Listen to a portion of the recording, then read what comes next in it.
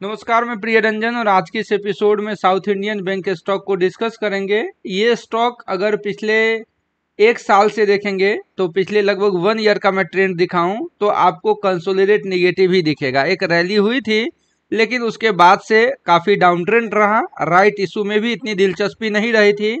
इस समय कंपनी के Q2 के अपडेट आते हुए दिखे हैं, बिज़नेस को लेकर के। तो आगे बढ़े, इससे पहले प्रीमियम टेलीग्राम ज़रूर ज्वाइन करें। डिस्क्रिप्शन के लिंक से अकाउंट ओपन करें। वीडियो पसंद आए तो दोस्तों में शेयर करेंगे। ये प्रीमियम टेलीग्राम है, इसको ज़रूर ज्वाइन करेंगे।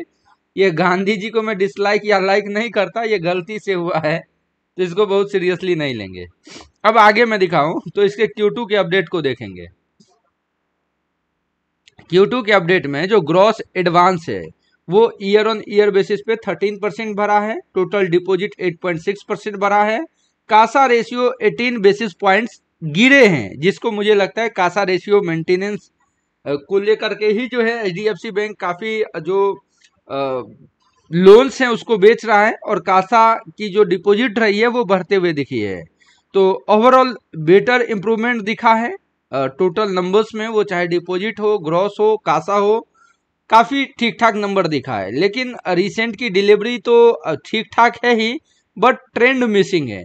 और इस मिसिंग ट्रेंड में ग्लोबल भी कुछ बहुत स्टेबल या बढ़िया नहीं दिख रहा है। लास्ट ट्रेडिंग सेशन में हमारा गिफ्ट निफ्टी लगभग लगभग ninety zero point nine zero percent यानी वन परसेंट के आसपास के डाउन ट्रेंड पे क्लोजिंग रही है।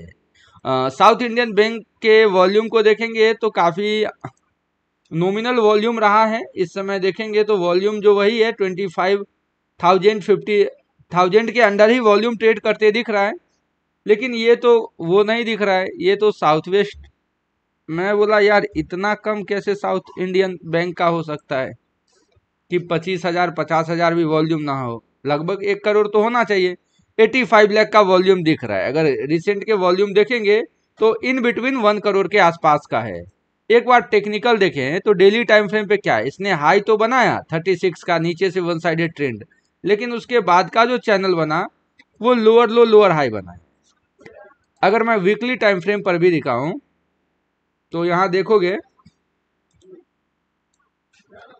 चलो पहले मंथली देखते हैं। मंथली टाइम फ्रेम पे देखो क्या दिख रहा है।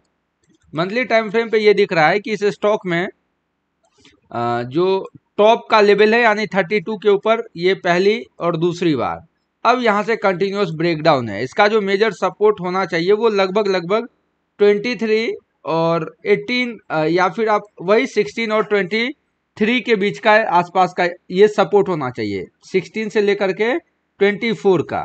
और ऊपर अगर इस स्टॉक को जाना है तो लगभग लगभग 28 के ऊपर ही लॉन्ग करेंगे, या इस जोन में वही लेंगे जो लॉन्ग टर्म इन्वेस्टर है। मोमेंटम बिल्कुल मिसिंग है एवरेज आउट या फ्रेश बाइंग करने से थोड़ा